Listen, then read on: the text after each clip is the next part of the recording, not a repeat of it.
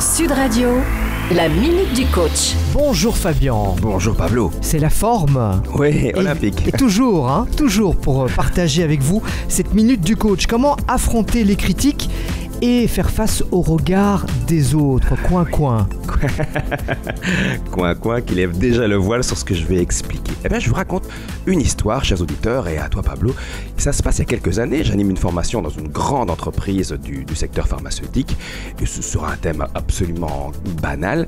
Et dans le tour de table, une participante me dit Moi, mon problème, c'est que le, le regard de l'autre, les critiques des autres me mettent très très mal à l'aise et je ne parviens pas à faire face. Et subitement, j'ai cette image qui me vient. Ah, tu sais, Pablo, que moi j'aime bien voler avec les aigles. Et ce jour-là, j'utilise un autre animal, un autre volatile, et je lui dis, Jocelyne, fais le canard.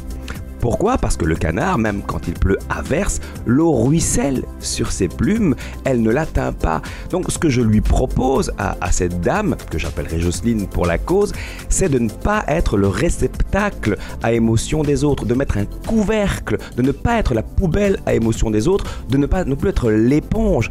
Car si vous faites l'éponge plutôt que le canard, je pourrais vous essorer pendant des heures et il coulera toujours quelque chose.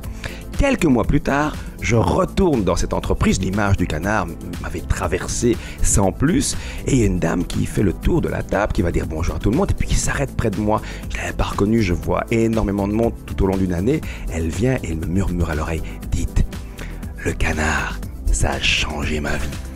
Même que mes collègues m'ont offert un canard. Alors, j'ai pas demandé si c'était un sextoy, hein, je ne me suis pas permis ça.